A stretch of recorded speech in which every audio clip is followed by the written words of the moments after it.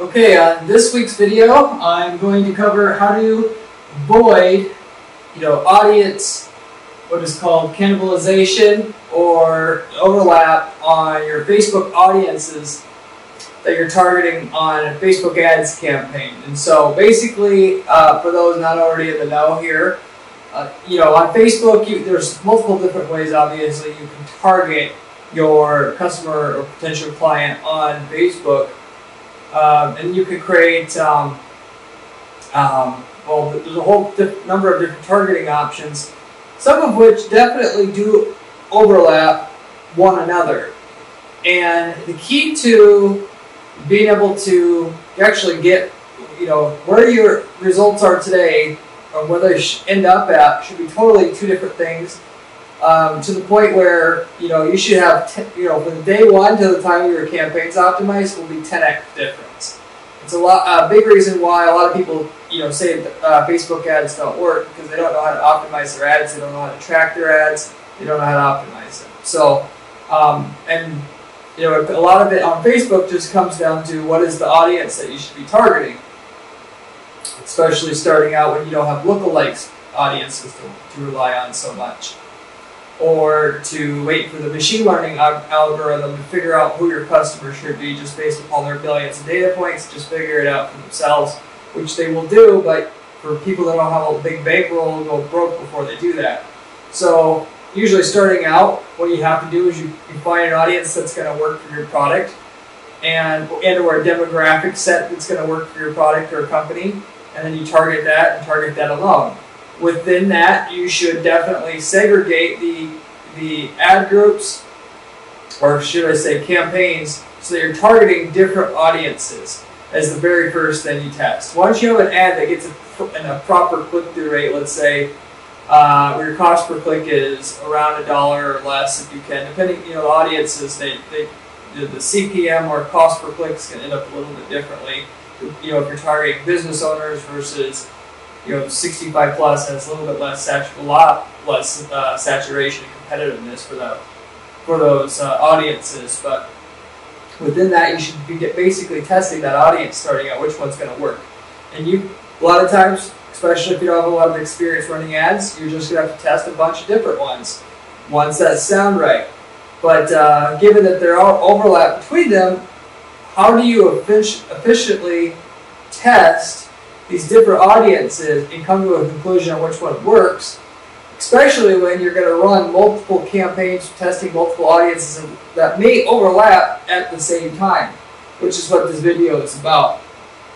So, um, as far as you know, the reasons why this matters, at the end of the day, let's say you, if you do set up a Facebook campaign, you target 10 different audiences, I just say you know, looking back at our prior results here, doing this, you know, out of the hundreds of campaigns that we've set up, one or two is going to work really well, just to be fair uh, about it. And then, so you should expect that going in. And so don't be, that's where the 10x results come in, part of it, uh, of course, um, not all. And so you want to be able to drill down. And of course, if you don't, if you are overlapping audiences, that won't stop you from getting probably profitable results, but if you want the stellar results that goes beyond, which is where the people that really know what they're doing and make real, real money actually go beyond what this, the average person's going to do, uh, you should go ahead and do the prevention of the you know the overlapping of the audiences and, and what you know audiences that'll cannibalize each other and, and when you're running tests against different audiences at the same time. So how do you actually prevent different audiences that you're targeting on Facebook through your ads from overlapping each other. Well, it's actually a really easy hack. Unlike Google Ads, which you can do, you can separate things out pretty well there as well.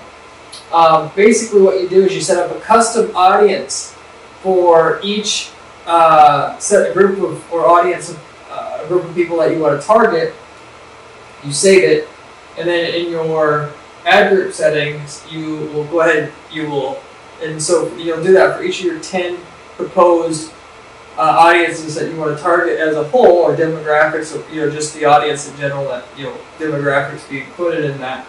and you go into see your ad group settings and you target that one and you negative nine other the nine other audiences that you want to test and set up all at the same time there as you're creating your custom audiences and that each campaign will have one positive audience and nine negative audiences that you're targeting because you can always you can target a positive or a negative in your Facebook ads. Don't want to target these people, I want to target these people.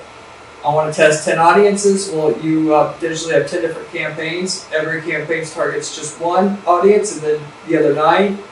You, ex you explicitly tell Facebook that you do not want to target those, and therefore, if there is overlap, it automatically gets weeded out. So it's pretty simple, uh, you know, along those lines to get it set up right, to do it right. Even a novice can do that now that you know the trick.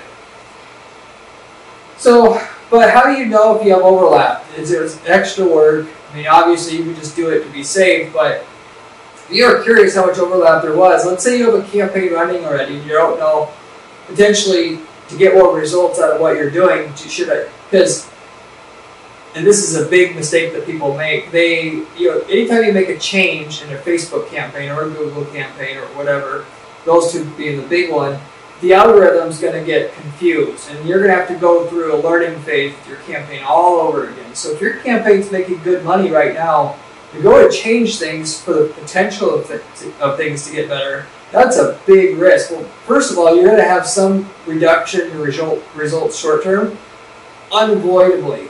Beyond that, it probably is worth it, but if you get it wrong, you lose money. Um, and potentially, if you if there was no overlap, then you just really uh, kicked your own ass there, basically, because there was no point to have the you know the learning algorithm that Facebook has relearn how to run your ads, realize and, and get no benefit at the end of the day. So your goal always is to figure out and plan very, very well, like they say in carpentry, you measure twice and you cut once. With PPC, you want to do all the possible research you can once and make one change. And that's also a person that's really good at PPC will make very little changes. They'll all be very, very precise, measured changes that were done after a proper amount of research has been put in. But you could go over back to the uh, topic at hand. Uh, Facebook has its own clever little tool that can tell you, it's called the audience overlap tool. It's actually literally uh, named that, uh, that you could go and you could find out two audiences that you're proposing through your campaign setup are actually overlapping, and then how much are they overlapping to determine. Like I said, it gave you the scenario where if your campaigns are already running and making money, if you could get more out of doing this system I propose to actually um, kind of take the part of the audience that you have now that is working out.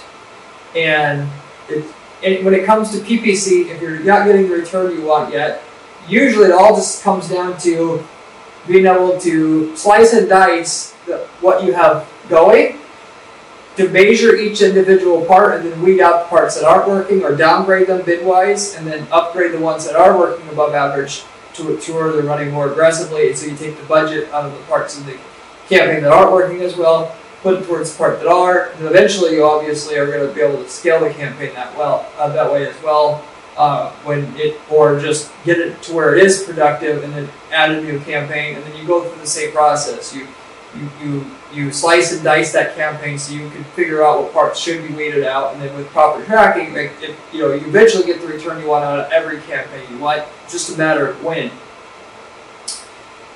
So with that all, with all that said, there, how big of an audience uh, as a side topic, how big of an audience should you actually have when you're doing Facebook ad targeting to get the maximum results? I always shoot for an audience, maximum audience size of 10K people. A lot of people will have an audience I, will see when I go and first look at their audit their campaigns. There's an audience of 50,000 potential uh, prospects or 100,000 in that campaign. It may be working, but it would work better if you were to, going back to what I said before about slicing and dicing, to get things down to figure out sub-audiences that can be set up there, or at least break things down into different ad groups that target different age demographics or gender demographics or a combination of their thereof, which is very easy to do in Facebook, which a lot of the pros are going to automatically do.